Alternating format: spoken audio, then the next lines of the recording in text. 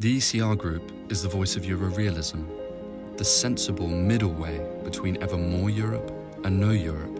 with respect for the sovereignty of Europe's national democracies, with less bureaucracy, more fiscal responsibility,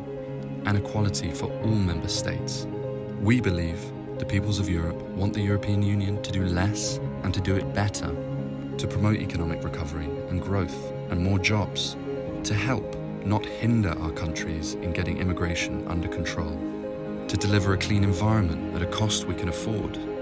to work with global partners to protect our security, to create jobs through free and fair trade. Europe should only act where it can deliver real added value to member states and their citizens. By putting Europe's national democracies back in the driving seat, we can build a Europe that will offer our countries a platform for cooperation that will help promote European prosperity and security for generations to come.